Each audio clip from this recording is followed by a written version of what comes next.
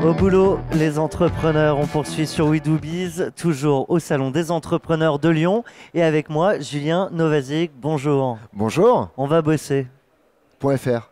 C'est le nom de la boîte. Exactement. On va bosser.fr. C'est le nom de la startup que j'ai créée il y a deux ans et euh, qui a pour euh, objectif tout simple de changer complètement la façon de recruter. Des job boards, il y en a beaucoup. Il y en avait Ouais. déjà beaucoup il y a deux ans. Comment on se positionne? Comment on fait sa place? Ah, il y en avait beaucoup il y a deux ans, il y en a encore plus maintenant. Euh, comment on se positionne? Ben, En proposant des choses complètement différentes, une vision un peu totalement même innovante. Euh, on va bosser.fr, c'est simple, ben, il n'y a pas de CV, il n'y a pas de lettre de motivation. Et puis on se base sur les compétences métiers, sur les compétences comportementales et pas sur ce qu'on connaît de façon habituelle. Alors justement, les, les clients, j'imagine, euh, étaient habitués à passer par un CV, à avoir une lettre de motivation. Euh, il y a beaucoup de pédagogie, j'imagine, à faire en amont. Ah, c'est énormément de pédagogie, c'est euh, ben, ce, ce genre d'interview, c'est des articles, c'est des conférences, c'est euh, du porte-à-porte, c'est du phoning, enfin c'est tout ça. Ça, veut- ça veut dire que le CV sert à rien? Non, ça veut pas dire ça. Ça veut dire qu'aujourd'hui, le monde évolue et que le CV doit évoluer. Et qu'aujourd'hui, le CV papier qui est accompagné d'une lettre de motivation où tout le monde fait la même chose exactement pareil, bah, ça sert plus à rien. Effectivement, là, je suis d'accord avec toi. En revanche, euh, faire un CV où tu mets en avant tes compétences de métier, où tu mets en place ton patrimoine euh, de compétences comportementales, ça, ça a de l'impact, ça a de l'intérêt. S'il y a un message à faire passer d'un côté aux recruteurs, de l'autre côté aux candidats, on leur dit quoi? Alors, aux recruteurs, on va leur dire, euh, s'il vous plaît, vous n'avez pas le temps de gérer des CV, des lettres de motivation. Venez sur onvabosser.fr, vous allez voir. C'est un truc, ça en a pour 10 minutes. Et au moins, vous avez des profils qui correspondent à votre besoin.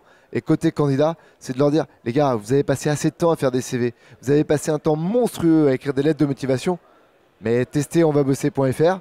Ça prend un quart d'heure, 20 minutes. Vous en sortez, vous vous connaissez encore mieux vous-même.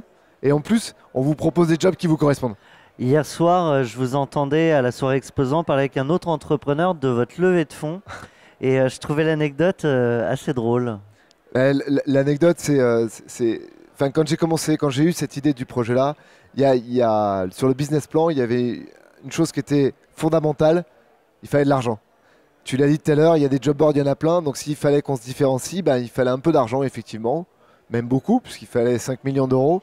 Et, et en fait, ben, c'est tout simplement le, le culot de, de- de rencontrer les bonnes personnes au bon moment, d'aller les chercher, de se bouger, euh, et puis ben, de leur expliquer, comme je le fais aujourd'hui, avec euh, le sourire, avec euh, l'envie, le dynamisme pour aller chercher l'argent.